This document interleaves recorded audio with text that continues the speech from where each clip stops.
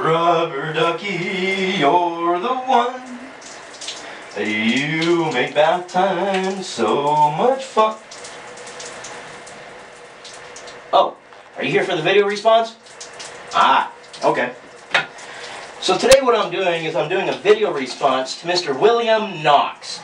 Now he made a couple comments on my video response to Shield Wife, Lady Get Real. And the whole discussion was on, well, at least it started on, male circumcision when, you know, men are little boys and they get circumcised in the hospital. Now, circumcision, before we get started, is a recognized medical procedure. Lots of Americans, millions in fact, have it done every year. And if it were dangerous, the medical community wouldn't even have it as an option. So Mr. William Knox said that anybody who chooses to have their child circumcised is worse than a pedophile.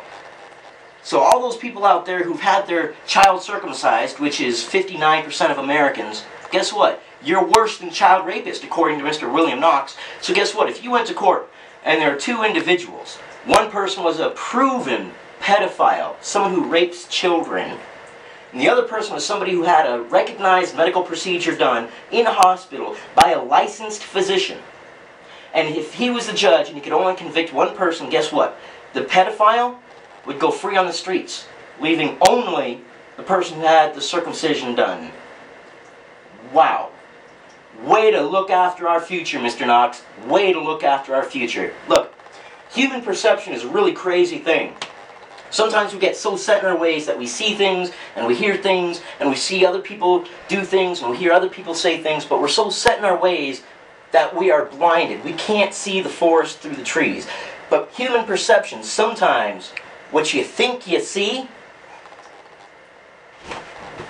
is just not the way things are. Look, it's not about us.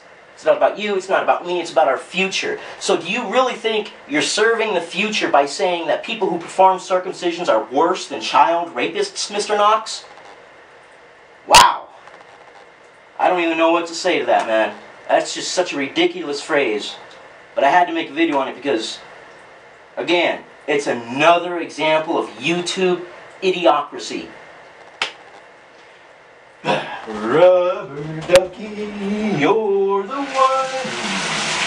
You make that time so